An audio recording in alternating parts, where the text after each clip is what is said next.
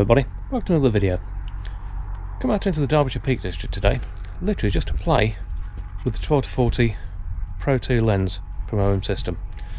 Um, we've decided to uh, head out being like, it's quite a bright day, very harsh conditions, but I don't really mind that, you can really sort of get some interesting effects, especially if you can play with the exposure. Uh, but spotted this scene behind us, lovely old uh, sort of farm building with a tree sort of growing alongside it. Let's see what can line up. Obviously everything's handheld today, not doing the tripod, so let's have a look see what we can find.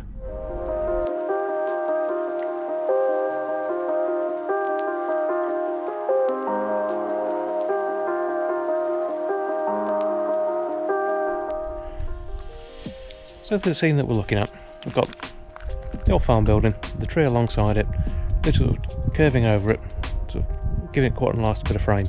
I wonder, I'm getting quite low because literally all I want is the bottom third to be the grass, then the house and the tree, and the upper two thirds with some of the clouds. Now because the, that's actually quite nice, what I've done, I've actually dropped that into the uh, the right hand third as well. So I'm really using the rule of thirds for this one, but it seems to work really nicely.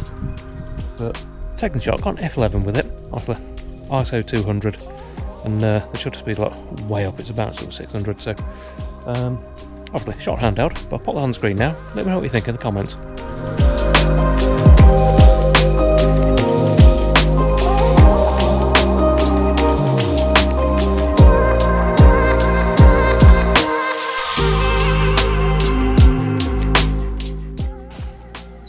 So where we are today in Derbyshire is part of the Limestone Way. It basically forms a, a big long line straight through the Peak District. Um, some good steep hills that will just come down from the car park, uh, but some lovely scenes around. Go see if I can find anything uh, of interest. Seems to be loads of wildlife out today as well, loads of birds around. Seen quite a few butterflies as well, which is quite nice to uh, see this early in the year. But carry on walking. Hopefully we'll make our way down to uh, Youlgreave and uh, the River Bradford. But we'll see how far we get. Let's go take a wander.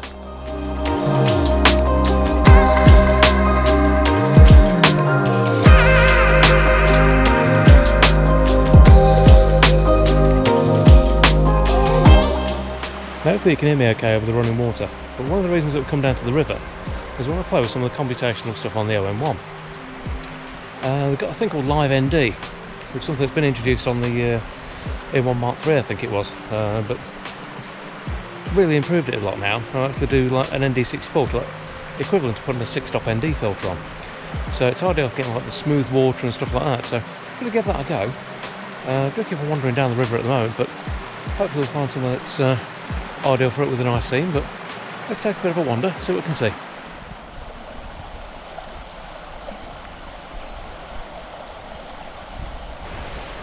So if you can hear me above the uh, the wind and the water noise, but I've just done a quick test shot with Live ND. Gone for the six stop, just to the test. I'll put two shots up for you now. One without Live ND and one with. See if you can see the difference.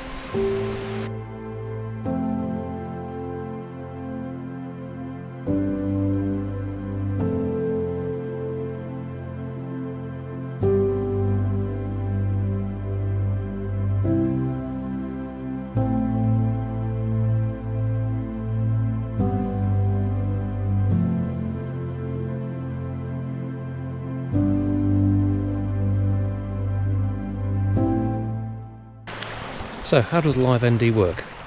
Essentially, it's layering up multiple shots for you. So you line up, take your focus, hit the shutter, and basically all it'll do is actually sort of layer the shots on top of each other, which gives you the effect of having an ND filter on there. Um, you can vary the uh, the amount of shots that it takes and the length of time, obviously, with your shutter. Only works in manual mode, but that's not too much of a problem anyway, because you're going to be doing long exposures, you'll be in manual anyway. But I think the effects are quite nice. Obviously, where we are at the moment is quite busy as well. Um, the River Bradford is very similar to Lathkill Dale.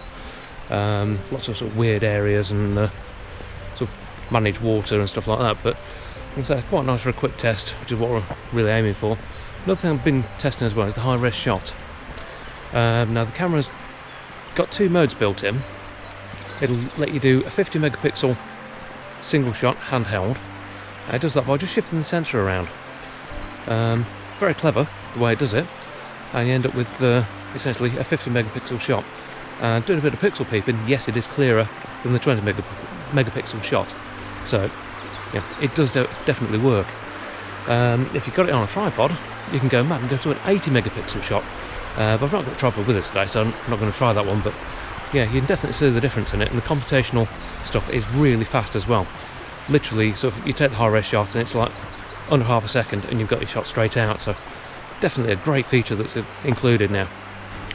So the other question is, what do I think of the new uh, 12 to 40 mm lens? Um, it's stunning. Crystal clear, stupidly fast to focus.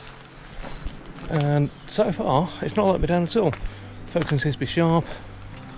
Never really seem to have any issues with it. Sort of missing focus. So yeah, absolutely spot on.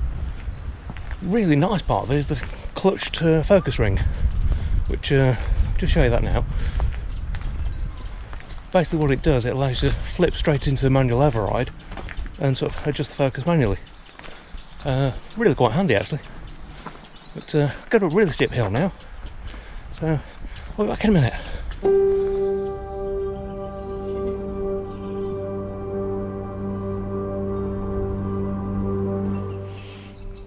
There's been quite a few YouTubers over the last few years saying Micro Four Thirds is dead.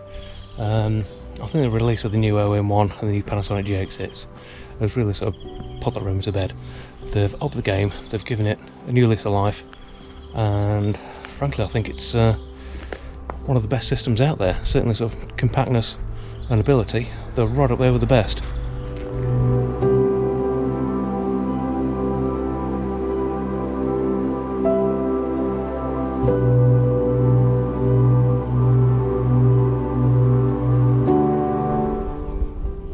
One thing that's really handy, especially with these old dry stone walls, is get some lovely moss on them. Now, what I found is that there's sections of just along this strip here, spin around so you can see it, and essentially there's a mixture of different types of mosses sort of growing up the top. So hopefully I'm going with the Pro lens, I'm not switching the macro. I'm going to drop the uh, the aperture down to an f4, so it's going to give me not razor thin depth of field, but a thinner depth of field. So it'll look kind of a bit like a macro shot, but I popped up now. Let me know what you think in the comments.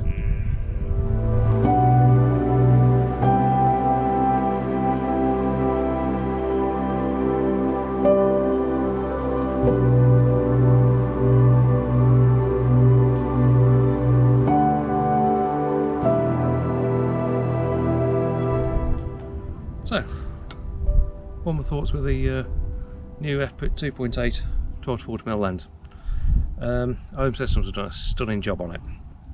Uh, really fast focus, really clean focusing as well, really really smooth on the, uh, the zoom ring to what you really need for it. Um, handy little feature, being a pro lens, you've actually got a clutch for the manual focus. So you can be in autofocus mode, if you're not quite hitting it, pull it straight back, you're into full manual, it doesn't override, flip back, you're back into auto again really good setup really nice to use. Not too heavy. You can tell it's a metal body but you know not too bad at all. Um, the shots that we've taken with it today they've been absolutely crystal clear. I had no problem at all with the uh, the lens coatings. Everything seems to be really well controlled. Absolutely brilliant lens. But then again it's pro lens I'd expect it to be. Um, started to lose a bit of light now. It's gone really really hazy really harsh. So we're going to head back to the van now and uh, head back. But it's been an interesting test um, not just of the lens but of the camera as well with some of the extra features. But really quite enjoyed the day out. And unusual for a March t-shirt weather. But yeah I'm going to take it not going to turn that down at all. But we'll leave you with the uh, the shots I've taken for today. And uh, like I say if you can hit the like button. Really helps the channel out helps it to grow. And uh, if there's any information you want about the OM1 drop us a comment below. I'll see if I can answer any questions for you. But as always thanks for watching. We'll see you again soon